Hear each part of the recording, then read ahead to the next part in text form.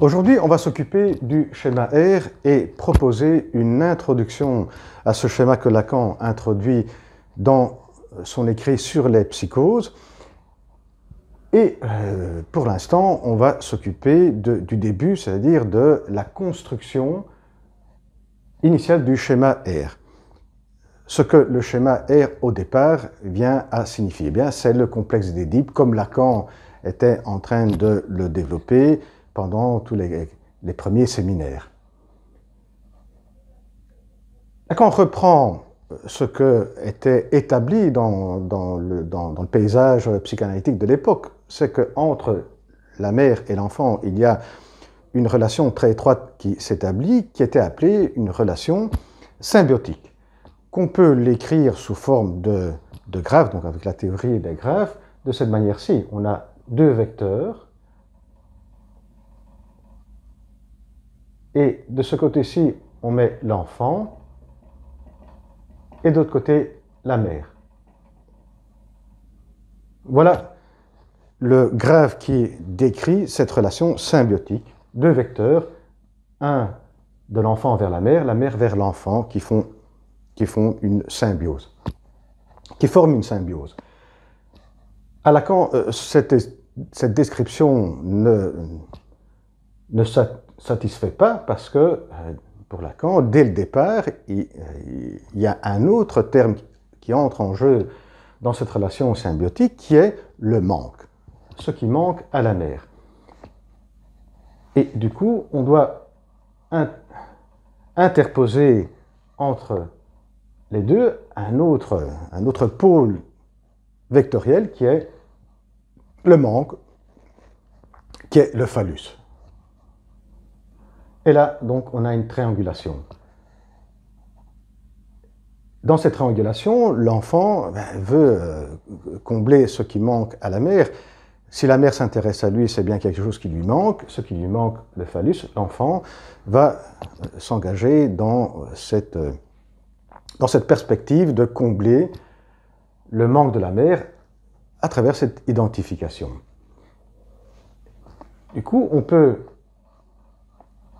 commencer à écrire le schéma R, on a trois pôles ici. Le premier, c'est le phallus, la mère et l'enfant que Lacan dit sujet, parce qu'il est, il est dépendant de la mère et euh, va euh, s'identifier au phallus. Enfant à sujet.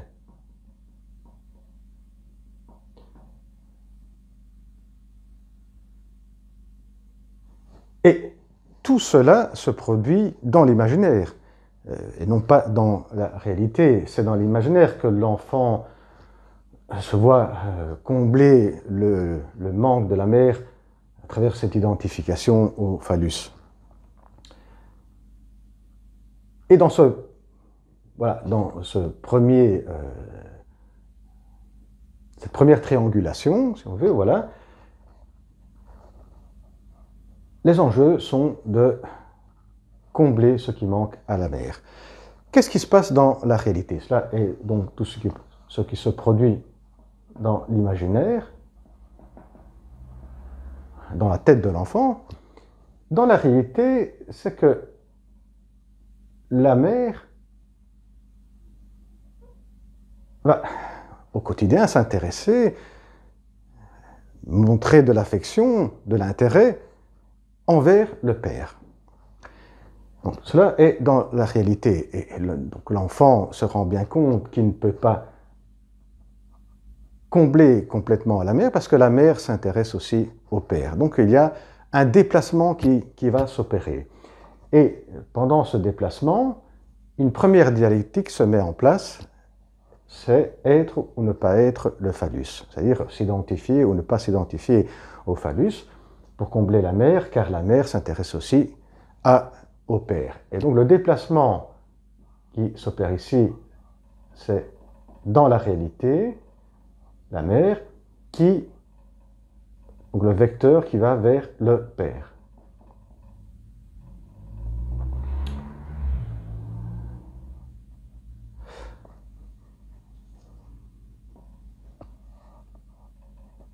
dans la réalité, la mère qui euh, s'intéresse euh, au, père euh, va signifier, doit aussi signifier que le père a quelque chose à dire, que le père est présent, que c'est vers le père que la mère s'attend le phallus, entre autres.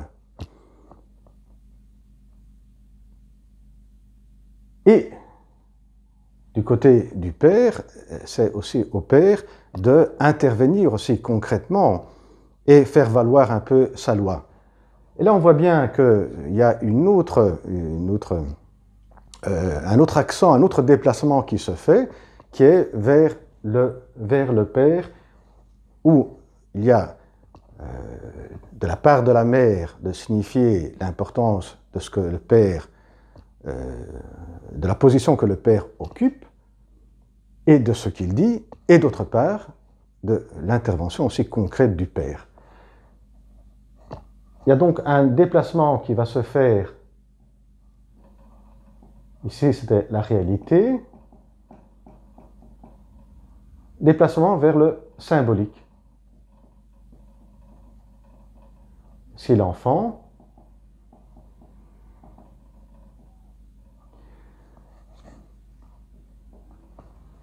Déplacement vers le symbolique, et donc l'enfant, dans ce déplacement, peut devenir sujet, car là, avec ce déplacement, une autre dialectique va se mettre en place qui est bien l'avoir ou ne pas l'avoir le phallus, car c'est le père qui voit bien que euh, si la mère se déplace, donne euh, euh, cette, cette importance au père, c'est que c'est le père qui a le phallus, et donc le père, le père qui peut donner aussi le phallus à l'enfant. Donc il y a aussi un déplacement d'une dialectique entre être ou ne pas être le phallus vers l'avoir ou ne pas l'avoir le phallus du père.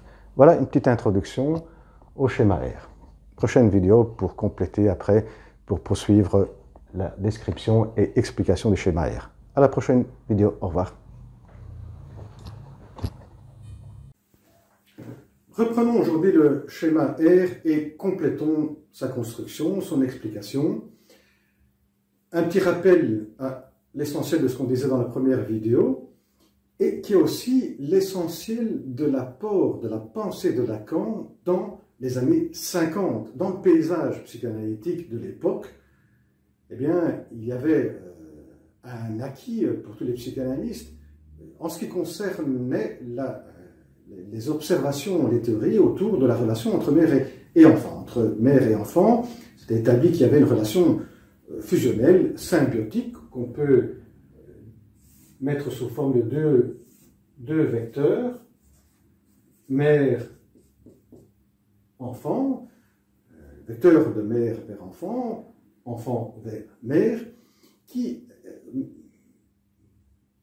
mettait au centre le besoin, le besoin de l'enfant. Dans un premier enfant, c'était surtout le besoin de l'enfant. La mère devait satisfaire ce besoin qui était essentiel pour le développement de l'enfant. Pour Lacan, si on ne tient pas compte de deux autres pôles, eh bien, on ne pourrait pas expliquer une grande quantité du matériel clinique, et ce que Lacan fait dans les premiers séminaires. Et également, on pourrait aussi, dit Lacan, mieux expliquer ce qui se passe dans les observations, dans, la théorie de Mélanie Klein, une psychanalyste à laquelle Lacan prêtait beaucoup d'attention. Quels sont ces deux pôles? Ben, Le premier deux pôles, quels sont? Ben, Avant tout, il y a le, ben, le, désir de la mère, c'est ce qui manque à la mère. L'enfant euh, s'intéresse à cela également. On doit donc ajouter un pôle ici qui est celui-là du, manque. Et ce que tout psychanalyste peut bien observer, tout le monde peut bien observer, que dans cette réalité entre mère et enfant, ce qui se passe entre mère et enfant, il y a quelque chose de impossible à ne pas observer, il y a la circulation de mots, il y a des mots qui circulent, il y a des signifiants. Certains plus importants que d'autres, certainement et certains même sont essentiels pour le développement de l'enfant. Et donc on doit ajouter le pôle des signifiants qui, euh, un pôle essentiel, certains de ces signifiants sont essentiels, ce sont ceux que on retrouve du côté du père. Et voilà donc les deux pôles ici, euh, pôle du symbolique, et ici de l'imaginaire, parce que c'est dans la tête de l'enfant, et c'est dans la relation qu'on va voir maintenant à l'image du corps. Et ici, on a la réalité. Bon. Ici, on avait mis la sujet, et ici, on avait barré la mer parce qu'elle se déplace. Qu'est-ce qu'on va mettre ici? Qu'est-ce que Lacan va mettre? Ben, Avant tout, on va commencer à proposer le schéma tel qu'on on peut le voir dans, les, dans le séminaire Les formations de l'inconscient et dans les écrits, qui a un carré. Un carré, donc, avec ici, on se pose le manque, la mère, le père, et Qu'est-ce qu'on va mettre ici? On va attendre un petit peu.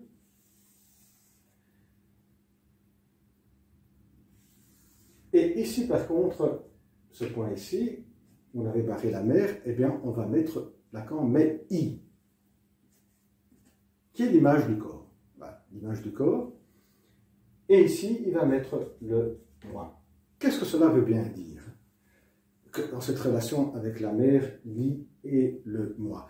Il suffit de se souvenir du stade du miroir et du schéma elle qui reprend le stade du miroir. Qu'est-ce que c'est le stade du miroir? C'est cette phase essentielle pour Lacan qui va permettre à l'enfant de, se saisir comme, euh, comme moi euh, et grâce aussi à cette image, ce moi, il pourra après appréhender pas mal de choses qui se passent dans la réalité, dans le monde qui l'environne. Il y a deux temps. Il y a un premier temps, c'est que l'image que l'enfant perçoit, il la perçoit comme un autre. Voilà. Il accède à son moi à travers l'autre. Dans un premier temps, il perçoit l'image comme un autre. Dans un deuxième temps, il va comprendre que cette image, que cet autre est lui-même, et il va s'identifier, et là se construit le moi. Ce qui veut dire, et ça c'est ce qu'on voit dans les temps du schéma L, c'est que le sujet, il, a accès directement à l'autre, et c'est accédant à l'autre qu'il va se constituer comme moi. Et ainsi de suite, après, le moi va se former, comme disait Freud, à travers toute une série d'identifications. Le moi, pour Freud, était euh, tout simplement euh, un ensemble de, couches euh, d'identification, de rencontres avec avec l'image de l'autre, avec l'autre.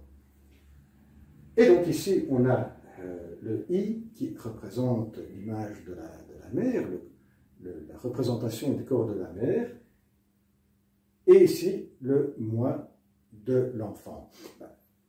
Dans cette réalité qui se, met en place entre, la mère et l'enfant, eh bien, le moi de l'enfant va se,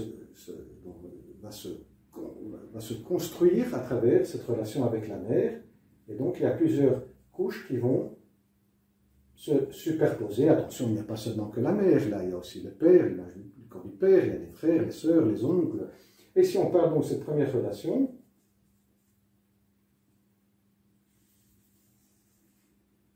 et voilà que le moi va s'enrichir à travers plusieurs identification à, des aspects qui se mettent en place avec la mère. Et donc, des parties du corps vont, être plus investies que d'autres.